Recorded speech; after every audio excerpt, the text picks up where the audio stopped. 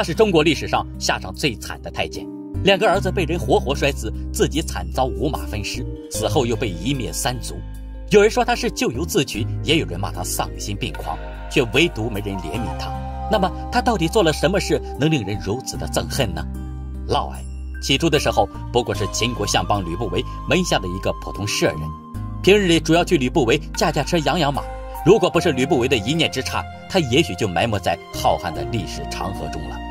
十三岁的嬴政做了秦王，由于年纪还小，秦国的朝政就由吕不韦和太后赵姬共同把持。一朝大权在握，二人压抑多年的情感竟在一瞬间死灰复燃。然而好景不长，年轻的赵姬正处在虎狼之年，而吕不韦却日渐沧桑，渐渐的不堪重负。再加上嬴政一天天长大，吕不韦真的担心有朝一日东窗事发，落得个身败名裂的下场，于是就决定不再同赵姬厮混。只是赵姬这耐不住寂寞的女人，怎么会轻易放过吕不韦？吕不韦这下进退两难。为了解决这个难题，他只得另辟蹊径。不久以后，就发现了身边天赋异禀的奇人嫪毐。这嫪毐虽然只是吕不韦的一个舍人，可他身有长技，可以转动车轮，真可谓前无古人，后无来者。他的绝技立即吸引了赵姬。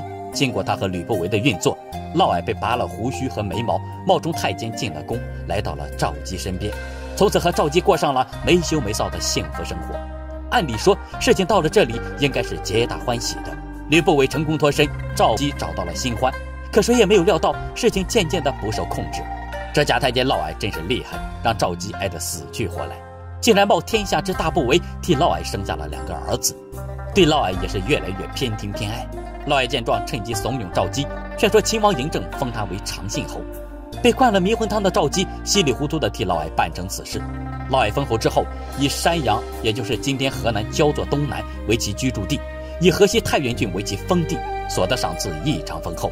雍城的一切事情皆决于嫪毐，宫中事情无论大小，也均决于他。家中同仆宾客多至数千人，投奔嫪毐求官的宾客舍人竟也达千余人。昔日里身份低微的太监，摇身一变成了在秦国地位和权势仅次于相邦吕不韦的存在。可他不知道的是，自己已经离死不远了。什么叫做不作死就不会死？看看嫪毐就知道了。他黑了秦王嬴政的母亲赵姬，还让赵姬给他生了两个儿子，又促使嬴政封他为长信侯，可以说是妥妥的人生巅峰。春风得意的他开始膨胀，自认为自己天下无敌。在一次酒宴之上，竟然自称是嬴政的假父，还想让自己和赵姬的儿子取而代之，成为秦国的大王。此事传到了嬴政的耳朵里，秦王嬴政又羞又恼，暴怒之下派人密查，果然发现了嫪毐并非真正的太监。嬴政都还没有出手，嫪毐就先跳了出来。他和太后赵姬密谋，偷取嬴政的玉玺，趁嬴政去举行冠礼时，鼓动门客和军队发动政变，诛杀吕不韦和秦王嬴政。嫪毐身穿战甲，手拿长矛，让卫尉赵阶率领王城锐士攻入章台，先除去秦王的儿子扶苏，让董齐带人包围蒙武王翦和李斯等人，随后还让秦玉接管骊山大营的五万兵马，直奔雍城进攻秦王嬴政，可谓是诈谋奇计。秦王此时虽然才二十出头，但并非等闲之辈，面对嫪毐的叛变，他丝毫没有害怕，携手吕不韦、嬴稷和蒙恬等人一起全力抵抗嫪毐的叛变。为了鼓舞士气，他又下令。凡有战功的均败爵后赏，宦官参战的也败爵一级。重赏之下，王师士气大振，嫪毐军数百人被杀死，嫪毐也身受重创。嫪毐的军队大败，与死党仓皇逃亡。秦王嬴政又通令全国，生擒嫪毐者赐减百万，杀死嫪毐者赐减五十万。嫪毐及其党羽被一网打尽。恨嫪毐入骨的秦王嬴政毫不犹豫地车裂嫪毐，并将其一灭三族。嫪毐的死党魏魏阶、钟大夫令其等二十余人枭首。追随嫪毐的宾客舍人，最轻者发作鬼心，最重者四千余人拜官夺爵，流放巴蜀。对于母亲赵姬，秦王嬴政失望透顶。我从小就和你相依为命，你却为了一个假太监背叛我们的母子亲情。为了你和他的儿子，你又要杀我，另立新王。既然你的心里已经没有我这个儿子，那就休怪我绝情了。